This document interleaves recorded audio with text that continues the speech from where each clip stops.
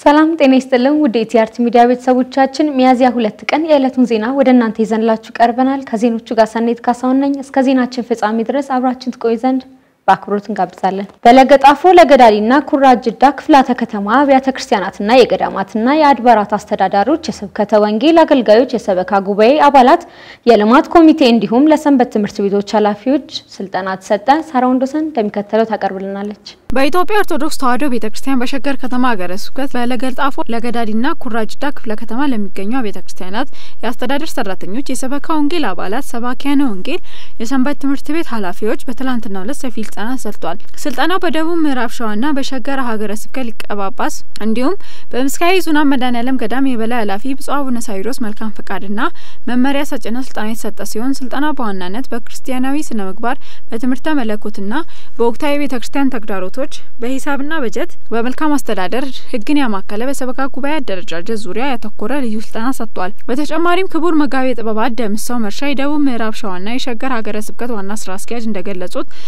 የስልጠናው ዓላማ በቤተ ክርስቲያን በሕዝብ የተመረጡ የሰበካ ጉባኤ አባላትና ሌሎች ባለድርሻ አካላት ስራቸውን በቃለ ዓዋዲና ሕገ ቤተ ክርስቲያን መሰረት ባደረጉት መልክ እንዲያከናውኑ ይረዳል፣ ያግዛል። በተጨማሪም በጥራት በቅልጥፍና እንዲሁም በታማኝነት ማገልገል ተገቢ በመሆኑና በተጨማሪም ስልጠና በሌሎች ክፍለ ከተማ ተጠናክሮ እንዲቀጥል ገልጸዋል። ይህ ስልጠና በዚህ ክፍለ ከተማ በትላንትናው ዕለት የተከናወነ ሲሆን ከዚህ በኋላ ችግሮቻችንን ወደ ኋላ ተወት በማድረግ አንድ በሚያደርገን ስራ ላይ ንቁ ተሳትፎ ማድረግ አለብን ሲሉም ተናግረዋል። በመቀጠልም በስልጠና የተሳተፉት ጥያቄ አስተያየት እንዲሁም ሀሳብ በማቅረብና ስልጠናውን የሰጡት መምህራን ምላሽ ሰጥተዋል። ብፁዕ አቡነ ሳዊሮስ የሀገረ ስብከቱ ሊቀ ጳጳስ ስልጠናው የተዘጋጀበት ዓላማ ሲገልጹ በሸገር ሀገረ ስብከት ስር ያሉ አጥቢያ ቤተ ክርስቲያናት፣ ገዳማት መልካም አስተዳደር እንዲኖራቸው ቤተ ክርስቲያን ሀብት ንብረቷን በአግባቡ እንዲሁም መጠቀም እንዳለባት፣ የልማት ስራዎቿን እንዴት ማስፋፋት፣ በዚህ መሰረት የካህናትን አቅም በማሰልጠን በማገዝ እያጋጠሙን ባሉ ችግሮችና መፍትሄዎቻቸው ዙሪያ መወያየት አስፈላጊ ሆኖ በመገኘቱ መርሃ ግብሩ እንደተዘጋጀ ተገልጿል። ብፁዕነታቸው የቅድስት ቤተ ክርስቲያን ዋና ዓላማ ተልእኮ ተተኪዎችን ማፍራትና ስብከተ ወንጌልን ማስፋፋት መሆኑን እንደሚያውቁ ገልጸው በሀገረ ስብከቱ እጅግ በርካታ ችግሮች በቤተ ክርስቲያን በዚሁ ዘመን እየገጠማት ባለው ፈረጀ ብዙ ፈተና የተወሰነውን አገልግሎት ሊቀረፍ የሚችል ካህናትና መምህራን ባለባቸው ድርሻ መሆኑን ጠቁሞ የስልጠናው ተሳታፊዎች ትልቅ የቤተ ክርስቲያን አደራ እንዳለባቸው ማስገንዝበው በጸሎት መርሃ ግብሩ ፍጻሜ ሆኗል ሲል ምስካየ ኅዙናን መድኃኔዓለም ሚዲያ ክፍል ዘግቧል። ዛሬ ሚያዝያ ሁለት በዚህች ዕለት ቅዱስ ክርስቶፎሮስ በሰማዕትነት አረፈ። ዲያቆን አቤኔዘር ምረቱ ተጨማሪ አለው። በዚች ቀን ፊቱ እንደ ውሻ የሆነ ቅዱስ ክርስቶፎሮስ በሰማዕትነት አረፈ። ይህም ቅዱስ ሰውን ይበሉ ከነበሩ ሰዎች ሀገር ነው። በጦርነትም ማረኩት። አባቱም በሐዋርያ ማትያስ እጅ ያመነ ነው። በማረኩትም ጊዜ ቋንቋቸውን አያውቅም ነበር። የክብር ባለቤት ወደሆነ ወደ እግዚአብሔርም ማለደ። ቋንቋቸውንም ገልጦ እንደ እርሳቸው ተናገረ። የክርስቲያን ወገኖች የሚያሰቃዩአቸውንም ገሰጻቸው። የጦር ሰራዊቱንም የሚመራ መኮንን ጽኑ ግርፋትን ገረፈው።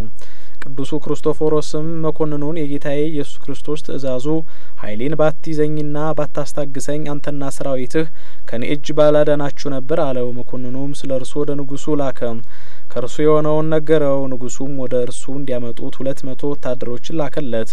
እርሱም ያለ መፍራት ያለ ማፈግፈግ አብሯቸው ሄደ። በእጁ በትር ነበረች። በላይዋ በጸለየ ጊዜ በቀለችና አበበች። እነዚያ ወታደሮች ተርበው የሚበሉት እንጀራ ባጡ ጊዜ ቅዱስ ክርስቶፎሮስ ጸለየ። በእነርሱ ዘንድ እንጀራ በዝቶ ተትረፈረፈ። እጅግም አጽድቀው በክብር ባለቤት በጌታችን በኢየሱስ ክርስቶስ አመኑ። አባ ጳውሎስ እጅ የክርስትና ጥምቀትን ተጠመቁ። ወደ ንጉሱም ፊት በደረሱ ጊዜ ንጉስ ዳኪዎስ ሊያስፈራራውና ሊሸነግለው ጀመረ። ደግሞም እጅግ መልከ መልካም የሆኑ ሁለት አመንዝራ ሴቶችን ወደ እርሱ ሰደደ። እነርሳቸው እንደሚያስቱትና በኃጢአት እንደሚጥሉት አስቧልና፣ እርሱ ግን ገሰጻቸው፣ አስተማራቸውም። በክብር ባለቤት በጌታችን በአምላካችን በመድኃኒታችን በኢየሱስ ክርስቶስ አምነው በደማቸው ምስክር ሆኑ። እንዲሁም እነዚህ ሁለት መቶ ወታደሮች በንጉሱ ፊት በክብር ባለቤት በኢየሱስ ክርስቶስ ታመኑ። የሰማዕትነትንም በሰይፍ እንዲቆርጡ አዘዘ። የሰማዕትነትንም አክሊል በመንግስተ ሰማያት ተቀበሉ። ቅዱስ ክርስቶፎሮስም ንጉሱን አንተ የሰይጣንን ስራ የምትቀበል ማደሪያው የሆንክ ብሎ ዘለፈው። ንጉሱም ተቆጥቶ በትልቅ ብረት ምጣድ ውስጥ እንዲጨምሩትና ከበታቹ እሳትን እንዲያነዱ አዘዘ። እንዲሁም አደረጉበት። ነገር ግን ከጉዳት እንዳሰቡት ምንም የደረሰበት የለም። ጤነኛ ሆኖ ሰዎችን አስተማራቸው እንጂ። እጅግም አድንቀው በክብር ባለቤት በኢየሱስ ክርስቶስ አመኑ። ቅዱሱንም ከእርሷ ሊያወጡት ወደዚያች ብረት ምጣድ ቀረቡ። ንጉሱም አንገታቸውን በሰይፍ እንዲቆርጧቸው አዘዘ። የሕይወት አክሊልንም ተቀበሉ። ከዚያም በኋላ ታላቅ ድንጋይ በአንገቱ አንጠልጥለው ከጥልቅ ጉድጓድ እንዲጨምሩ እንዲጨምሩት ንጉሡ አዘዘ። በጨመሩትም ጊዜ የእግዚአብሔር መልአክ በጤንነት አወጣው። ማሰቃየቱንም በሰለቸ ጊዜ አንገቱን በሰይፍ ይቆርጡ ዘንድ ንጉሡ አዘዘ። ቅዱሱም በእግዚአብሔር መንግስት የድል አድራጊነትን አክሊል ተቀዳጀ። ለእግዚአብሔር ክብር ምስጋና ይሁን። እኛንም በከበሩ ቅዱሳን ጸሎት ይማረን። በረከታቸው ከእኛ ጋር ለዘላለሙ ትኑር አሜን።